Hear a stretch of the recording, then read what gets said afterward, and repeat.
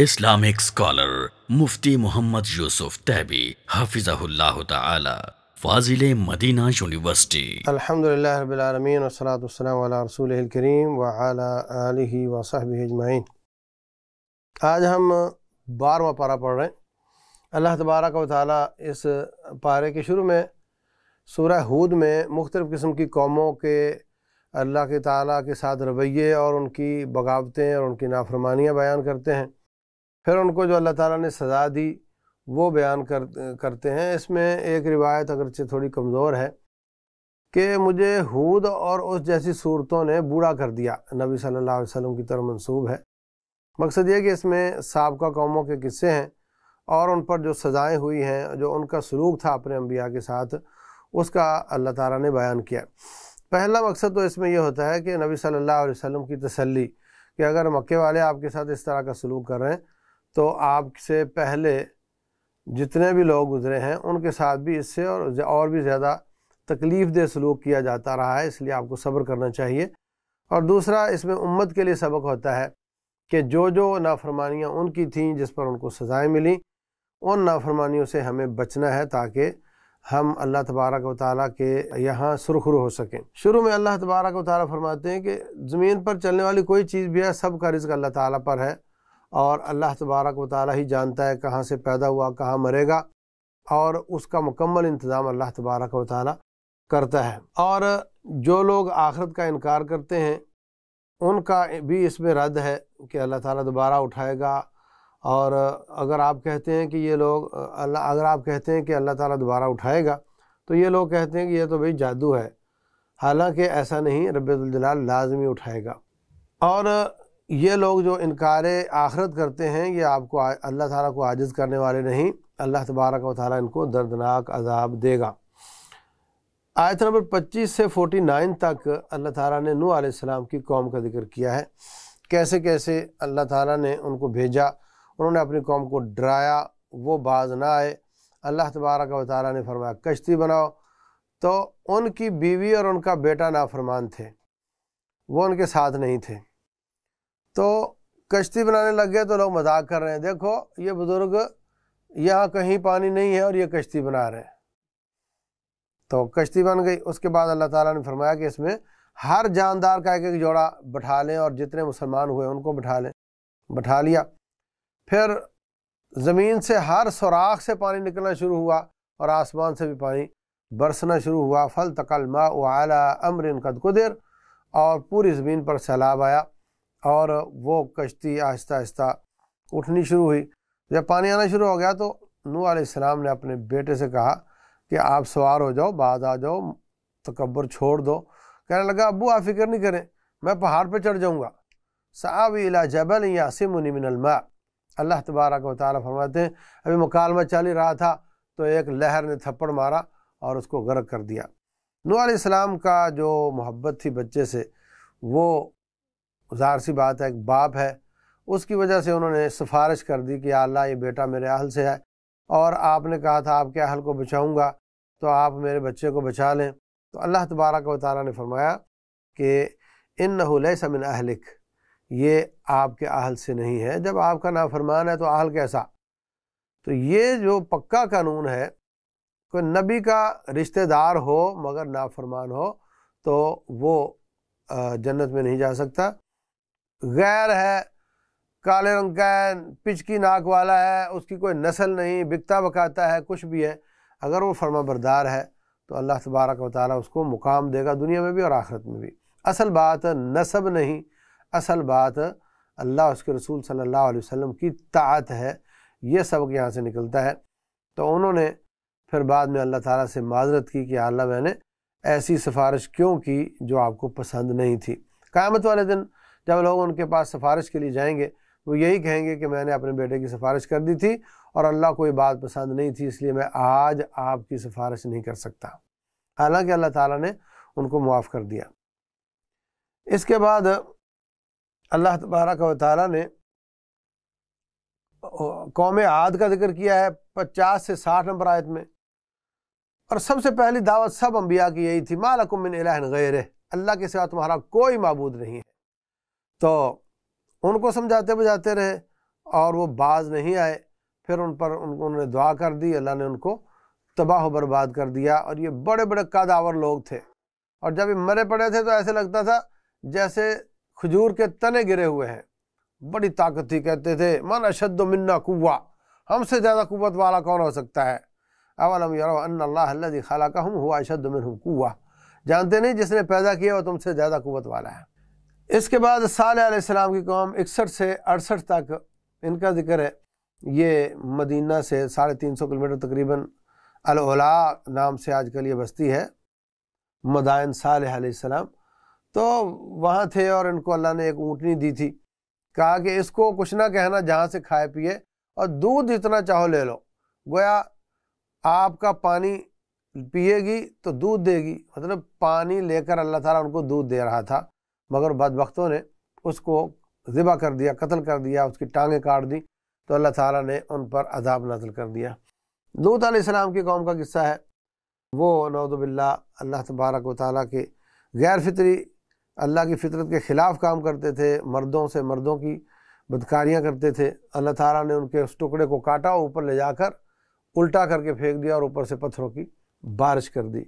शुएब की कौम का तस्करा है, चौरासी से अठानवे तक तो ये लोग माप तोल में कमी करते थे और कुछ बदमाशियाँ, रोड ब्लॉक करना और लोगों की माल चुरा लेना, इस तरह के काम करते थे। अल्लाह ताला ने मना किया बाज नहीं आए तो अल्लाह ने इनको भी अजाब से दो चार कर दिया। इसके बाद सूरह यूसुफ है। तो यूसुफ आसमाम का किस्सा इसमें बयान हुआ है और ये इतना अजीब किस्सा है। बज़ाहिर तो लगता है कि जैसे एक सादा सा एक कहानी है। लेकिन कुछ उलमा ने इसमें से हज़ार हज़ार नुक्ता निकाला है, उस पर किताब लिखी है सूर्य यूसुफ के नुक्ते, अरबी ज़बान में। तो इसमें जो मोटी बातें हैं वो ये कि घराना नबूवत का है, मगर हसद उनमें पाया जा रहा है। तो ये हसद नबूवत के घराने में भी आ जाए तो तबाही मचाता है। तो पहली बीवी से बच्चे बड़े बड़े थे, दूसरी बीवी से ये छोटे थे, यूसुफ अलैहिस्सलाम उनके छोटे भाई जिसको बाज ने बिन यामीन नाम लिखा है। तो ये ज़ाहिर सी बात है, जब बंदा बूढ़ा हो जाए और बच्चे छोटे छोटे हों तो उनसे प्यार ज़्यादा होता है। अब इनको जलसी फील होने लग गई कि जी नाब ये क्या बात हुई? बुढ़ेपे में काम हम आए और इनके साथ हर किस्म के तावन हम करें और जनाब इनको प्यार इनको इनके साथ है। तो कुछ ऐसा करो कि इनको मंजरनामे से हटाओ। कुछ ने कहा इनको कत्ल ही कर दो। कुछ ने कहा ऐसा करो, कत्ल नहीं करना। इनको किसी गहरे कुएँ में डाल दो जहाँ से कोई उठा कर ले जाएगा। तो हमारी नज़रों से हट गए, ज़िंदा रहें तो हमें क्या? असल बात तो यह है कि वाल साहब की मोहब्बत हमने हासिल करनी है। तो इनको ख्वाब आया यूसुफ अलैहिस्सलाम को तो उन्होंने अपने बाप को बताया। बाप को समझ आ गई तो उन्होंने कहा, अपने भाइयों के साथ इसका तस्करा ना करना। तो इसलिए कि शैतान इंसान के ख़िलाफ़ हो जाता है। मकसद ये कि वो वहाँ से ही हसद शुरू हो जाएगा।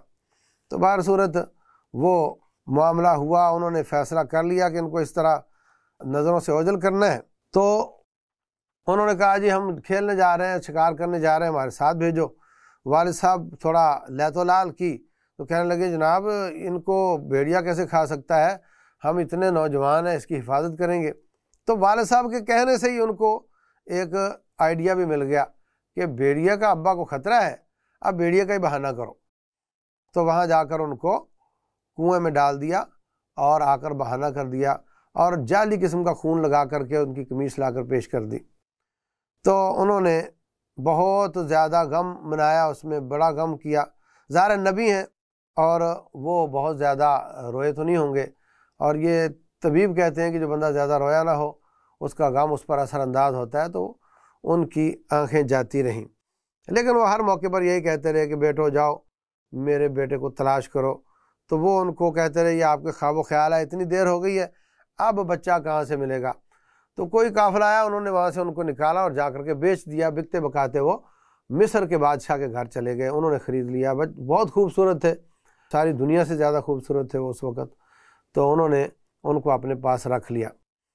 इधर से वो जवान हो चुके थे। जवान हुए तो मिस्र की जो अज़ीज़ मिस्र की जो बीवी थी, उसने उनको फरेफ्ता करने की कोशिश की।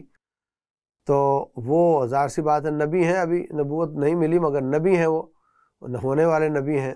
अल्लाह ने उनकी हिफाजत की। तो महल के दरवाजे बंद करके उसने उनको बुराई की तरफ़ बुलाया, मगर वो वहाँ से भाग खड़े हुए। जब भागे तो पीछे से उन्होंने पकड़ने की कोशिश की तो उनकी कमीज पीछे से फट गई। जब बाहर निकले तो वो अज़ीज़ मिस्र खड़ा था तो सांस फूला हुआ। क्या हुआ? कहा, इस जवान ने मेरी इज़्ज़त के साथ खेलने की कोशिश की है। तो कहने लगे, इसने उल्टा मुझे परेशान करने की कोशिश की है। तो उनके एक किसी समझदार आदमी ने कहा कि जो ग्राउंड रियलिटी होती है, जो शवाहद होते हैं, वो तो ये बताते हैं कि अगर ये ऐसे ऐसे पीछे से आई है और ये भाग रहे थे तो अगर वो कमीज पीछे से फटी है, फिर तो इसका कसूर है। बाद लोग कहते हैं, जी, बच्चा बोल पड़ा, बच्चा बोल पड़ा वाली बात यहाँ साबित नहीं है। तो ये एक लॉजिकल बात थी उनके किसी समझदार ने की। तो बादशाह समझ गया, उसने कोई एक्शन नहीं लिया, उनको भी नसीहत कर दी और इनके खिलाफ भी कोई एक्शन नहीं लिया। तो जब मिस्र की औरतों को पता चला कि बादशाह की बीवी ने ऐसे ऐसे एक शख्स को फसराने की कोशिश करी है और वो वो कामयाब नहीं हुई तो कहने लगी इस औरत को तरीका ही नहीं आता। हमें कोई मौका मिले ना तो हम तो उनको फसला कर दिखाएँ। तो उसको तक खबर पहुँच गई। उसने कहा, एक ट्राई आप कर लो। तो उनके लिए फल फ्रूट रख दिए गए और औरतें बैठ गईं और उनको कहा गया प्रेजेंटेशन लगाने के बाद कि यूसुफ इस्लाम उस वक्त ग़ुलामी की हालत में है। कहा, यहाँ से गुज़रो। तो वो गुज़रे। तो उन्होंने उनकी तरफ़ देखा तक नहीं। तो जब देखा नहीं तो उन्होंने अपनी छुरियों के साथ अपने हाथ काट कर आवाज़ निकाली, दर्द वाली, ताकि अगर हमारे जिस्म से वो मुतासर नहीं हुए तो कम अज़ कम तरस खा कर ही देखेंगे हमारी तरफ़। उन्होंने फिर भी उनकी तरफ़ नहीं देखा। तो कहने लगी, ये कोई इंसान है नहीं। माहादा बशारा इनहादा मलक करीम। ये तो कोई फरिश्ता लग रहा है, वरना जितना हमने ज़ोर लगा लिया है, ये लाजमी हमारी तरफ़ देख लेते। तो यूसुफ अलैहिस्सलाम ने देखा कि एक तरफ़ ये औरत पीछे पड़ी हुई है, एक तरफ़ अभी ज़्यादा हो गई हैं, अब इससे और ज़्यादा हो सकती हैं। तो ए अल्लाह रब सिजन अहब इलम्मा यदनी इलही। इनके, इन फितनों से तो मुझे कैद अच्छी है। तो बादशाह ने उनको फिर कैद कर दिया। जुर्म कोई नहीं था। तो इससे ये बात साबित होती है कि इंसान दुनिया की आजमाइश को बर्दाश्त कर ले आखरत की आजमाइश से बचने के लिए। दुनिया की आजमाइश क्या थी? दुनिया में इंसान अगर वो उनके बातों में आ जाते तो दुनिया में सहूलत मिल जाती उनको, मगर आहत ख़राब होती और ऐसा नबी कर नहीं सकते। और उन्होंने दुनिया की तकलीफ़ जो कैद वाली है वो बर्दाश्त कर ली ताकि उस फितने से बच सकें। तो नबी सल्लल्लाहु अलैहि वसल्लम इस तरह की दुआ भी किया करते थे कि, ए अल्लाह, हमें, वला तज आल मुसीबत नाफ़ी दीनी ना या अल्लाह, हमारी मुसीबत दीन में ना हो। अगर वो उनकी बात मानते तो उनका दीन कमज़ोर होता और अगर जेल में गए तो उनकी दुनिया कमज़ोर हुई। दीन और दुनिया दुनिया कमज़ोर करके दीन को बचाना ये अम्बिया का शेवा है। दुनिया की मुसीबत को दीन की बना लेना ये लोगों का काम है। मुस्लिम शरीफ की हदीस है, एक औरत अब्दुल्ला बिन अब्बास रदी अल्लाह तारा फरमाते हैं कि इस औरत ने जन्नत में जाना बूढ़ी औरत थी। कहा कैसे? कहा कि ये आई थी अहद नबूत में, इसको मिर्गी के दौरे पड़ते थे। और उस वक़्त औरतें ये तहबंद बांधती थी, चादर पहनती थी। और ये बेचारी चलते में गिरती और तड़प तड़प कर बरहना हो जाती। अल्लाह रसूल सलाम मेरे लिए दुआ कर दे। अब मुझे कोई आकर कहे दुआ कर दें तो मैं तो फ़ौर दुआ कर दूँगा। लेकिन कुर्बान जाऊँ, आपने फरमाया, इन शेती दावतला की व इन सबर फ़लाकिल जन्ना। अगर चाहती हो तो दुआ करता हूँ, अगर ना करवाओ तो मैं इस बीमारी के एवज तेरे लिए जन्नत की बशारत देता हूँ। वो कहने लगी, फिर आप इतनी दुआ कर दें कि मैं गिरा करूँ, तड़पा करूँ, मगर बरहना ना हूँ। तो आपने ये दुआ कर दी। अब एक बीमारी के एवज वो जन्नत ले गई। हमारे यहाँ ये होता है कि ये ये जिन का साया हो गया, इसको औलाद नहीं हो रही, इसका ये मसला, वो मसला, कुछ हो जाए तावीज़ कर दो, कुफर करवा लो, शिरक करवा लो, मगर मेरा मसला हल होना चाहिए। बस जी, आप जानते हैं मजबूरी में तो सब हराम हलाल हो जाता है। हम ये चाहते हैं, जबकि वो लोग अपनी दुनिया की तकलीफ़ बर्दाश्त करके आखरत को बनाना चाहते थे। यूसुफ अलैहिस्सलाम ने दुनिया की तकलीफ़ बर्दाश्त की, दीन को बचा लिया। हमें भी अल्लाह ताला ऐसा करने की तौफीक दे। तो ये दुआ करनी चाहिए, वला तजाल मुसीबत अनाफ़ी दीन ना या अल्लाह, हमारी मुसीबत दुनिया में हो, दीन में ना हो, आफियत मिल जाए तो और अच्छा है। तो बाहर सूरत, जेल में गए तो वहाँ पे दो लोगों ने आपसे ताबीर पूछी, उन्होंने ताबीर बता दी उनमें से एक जब छूट कर जाने लगा तो फरमाने लगे कि अपने बादशाह से जाकर बताना कि ऐसे ऐसे इस नाम का आदमी खाम खा जेल में पड़ा हुआ है, उसका कुछ करो। वो भूल गया जाकर। फिर बादशाह को एक ख्वाब आता है कि ऐसे सात दुबली गाय हैं और सात मोटी गाय हैं और दुबली गाय मोटी गाय को खा रही हैं। मुब्बर मुब्बरीन से उन्होंने पूछा, उन्होंने कहा यह कोई ताबीर वाली ख्वाब नहीं है। तो वो जो जेल से निकला था, उसको याद आ गया कि एक ताबीर करने वाला आदमी जेल में पड़ा हुआ है। उसने कहा, जी, मुझे आप इजाज़त दें, मैं पूछ कर आता हूँ। पूछ कर आए। उन्होंने कहा कि, तुम्हारे सात साल जो हैं, ये आसूदगी के होंगे, इसमें बारिशें होंगी। इसमें जितनी आपकी पैदावार हो, उसको संभाल कर रखो और सिट्टे के अंदर ही रखो, बाहर ना निकालो, बोरियों में बंद ना करो। फिर इसके बाद सात साल ऐसे आएँगे जिसमें बारिश नहीं होगी। तो यही आपको खाना पड़ेगा। उसके बाद फिर अल्लाह ताला बारिश देगा और दोबारा से आसूदगी आ जाएगी। तो जब ये ताबीर बताई तो बादशाह कहने लगा, उसको मेरे पास लाओ। यूसुफ अलैहिस्सलाम कहने लगे, मैं नहीं जा रहा। सबसे पहले ये फैसला करो कि वो उस केस में मैं बरी हूँ या नहीं। रसूलुल्लाह सल्लल्लाहु अलैहि वसल्लम फरमाते, मैं होता तो मैं आ जाता, लेकिन मेरा अल्लाह ताला रहम करे मेरे भाई पर। उसने कहा कि, मेरी पहले इज़्ज़त बहाल करो, फिर मैं आऊँगा। तो उन्होंने ऐलान किया कि इसमें कसूर नहीं था हती कि मिस्र की, अज़ीज़ मिस्र की बीवी ने भी एतराफ़ किया कि इनका कसूर नहीं था। तब जाकर हज़रत यूसुफ बाहर आए। तो बादशाह कहने लगा कि जब आप ये जानते हैं कि ऐसे ऐसे होगा तो फिर ये काम भी आप ही करें। आपको हम वजारत देते हैं। कहा, कौन सी? कहने लगे, फिर आप मुझे यही दे दो। हिफाजत करने वाली वजारत ख़जाना दे दो। तो इस तरीके से अल्लाह ताला ने पहले उनको वज़ीर बनाया। तो पीछे से वो जो भाई थे, वो आते हैं तो आकर के अनाज ले जाते हैं। और उनको उन्होंने कहा कि तुम्हारा एक और भाई भी है, कहा हाँ क्या नाम है? बिनियामीन, जैसे ज़िक्र किया जाता है, अल्लाह आलम। कहा कि उनको साथ लेकर आना, वरना दोबारा आपको अनाज नहीं मिलेगा। उन्होंने नहीं पहचाना, इन्होंने अपने भाइयों को पहचान लिया। और साथ उनकी जो कीमत थी खरीद की, वो कीमत भी साथ ही उनके थैले में रख दी। घर गए जाकर याकूब अलैहिस्सलाम से कहते हैं कि उन्होंने कहा, आइंदा नहीं आना जब तक उस भाई को लेकर ना हो और जब थैला खोला तो कीमत भी वापस आ चुकी थी। कहा कि और क्या चाहिए? कीमत भी आ गई है और भाई आ जाएगा तो एक बंदे का मज़ीद खाना मिल जाएगा। तो आप इनको भेज दें। कहा कि मैं पहले भेज कर पछता रहा हूँ यूसुफ को और तुमने उनके साथ ज़्यादती की। और अब मैं एक और भाई को भेज दूँ। तो कहने लगे, जी, मजबूरी है, हम आपसे वादा करते हैं, हम इनको ज़रूर वापस लेकर आएँगे। तो वादे वाद लेकर उनको भेज दिया, कहा कि सब एक दरवाज़े से मत दाखिल होना।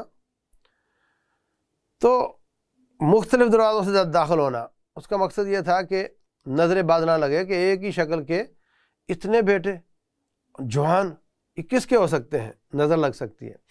तो मुख्तलिफ़ गेटों से दाखिल होना। बाहर सूरत गए तो उन्होंने उनको खुराक दे दी और वापसी पर हज़रत बिन यामीन अगर नाम दुरुस्त है तो उनके कटोरे, उनके थैले में कटोरा रख दिया। तो बाद में कहा, जी, कटोरा चोरी हो गया, कहा तलाशी लो तो उसके सामान से निकला।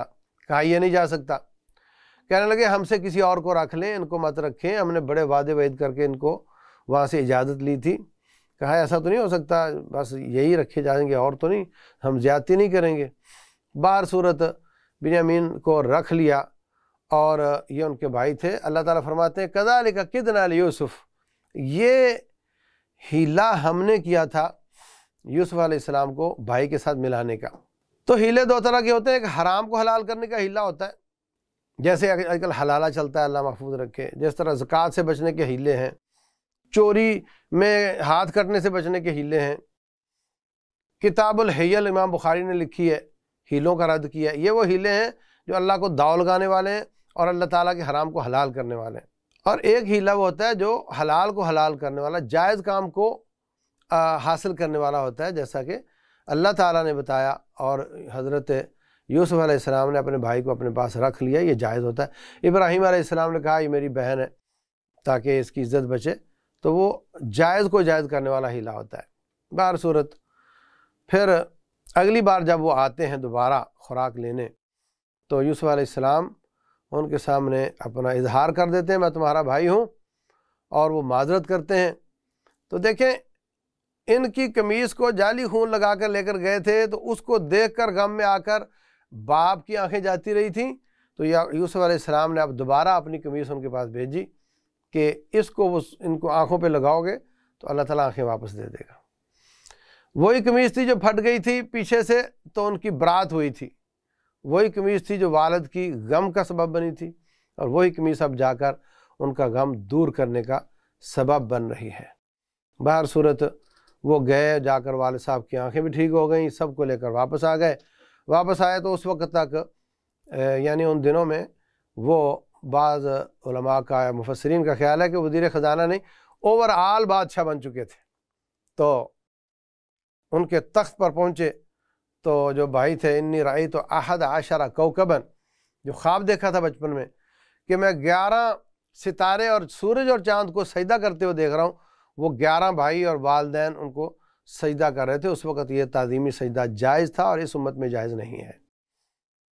तो वहाँ पर जब भाई उनको माजरत करते हैं, कि हमारी तरफ़ से ज़्यादती थी और हम माजरत करते हैं तो फरमाने लगे इन न हो मैं यद तक वसबिर फ़ैन अजर महसिन जो आदमी अल्लाह से ताल्लुक़ ठीक रखे, तकवा इख्तियार करे। बंद कमरे हैं महल्लात के, अकेले वो और वो औरत हैं। और यहाँ सिर्फ़ अल्लाह का खौफ है जो उनको रोक रहा है। तो कहा इन मैत तक जो डर जाए, बच जाए, तकवा इख्तियार करे। वसबिर और जम जाए अपने सही मौक़ पर। फ़ैन अल्लाहदी अजर महसिन फिर अल्लाह ताला महसिन का अजर ज़ाया नहीं करता। तो ये बहुत बड़ी सूरत दलील है इस्लामी तहरीकों के लिए भी कि अगर वो अल्लाह से ताल्लुक़ रखें और अपने मैदानों में डटे रहें तो अल्लाह ताला सारी मायूसियाँ ख़त्म करके रबुल्जलाल कुएँ से निकाल कर तख्तों पर बैठा देता है।